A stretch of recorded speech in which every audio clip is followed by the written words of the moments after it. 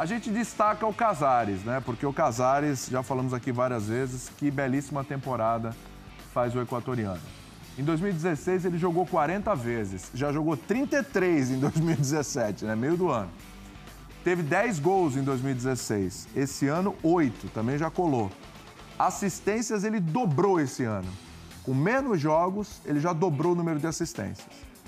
Minutos jogados, muito pertinho ali, ó. 2,290 ano passado. De novo, meio do ano ainda. Eu tenho 2,203. Média de minutos, mais tempo esse ano, evidentemente, 66,7, 57,2 o ano passado. O Atlético hoje parece que é o Casares e mais 10, né? Porque realmente. O Atlético é um caso curioso, é curioso, William, porque é, ele se dá o luxo de ter um revezamento de destaques. Né? Até um mês atrás, mais ou menos, o destaque era o Elias. Isso. Antes do Elias foi o Fred, que foi artilheiro do Campeonato Mineiro, disparando a fazer gol. Ano passado era o Robinho. E agora é o teve uma fase do Otero também, com as cobranças de falta, aqueles chutes verdade. de longe.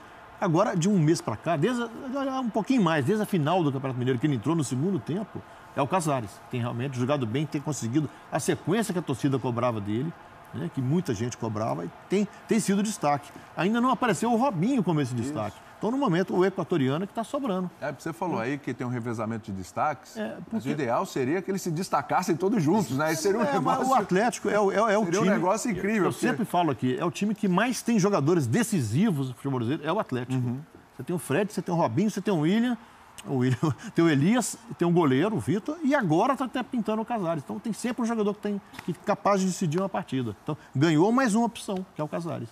O... É difícil a gente pensar no meio campo hoje, né? Estou com um monte de nomes aqui, ó. Realmente, realmente o Luan não viajou, a gente estava falando é, aqui. Exatamente. Não, não foi, estava poupado no último jogo e é, volta Carioca, o é. Roger elogiou o Roger Bernardo. Uhum. Tem o Iago que... Iago tem jogado muito bem. É, é. E é engraçado que a gente falou isso aqui há algum tempo, até fui criticado aqui no Twitter.